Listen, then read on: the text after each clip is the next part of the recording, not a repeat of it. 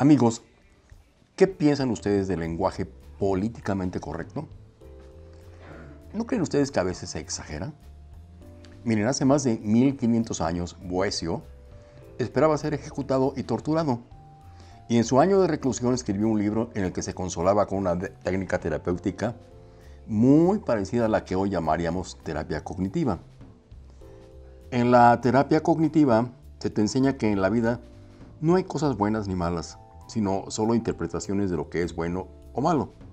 Pues bien, hoy más bien parece que se nos educa a pensar que sí hay cosas buenas o malas y que siempre debemos buscar lo peor de las interpretaciones a las palabras.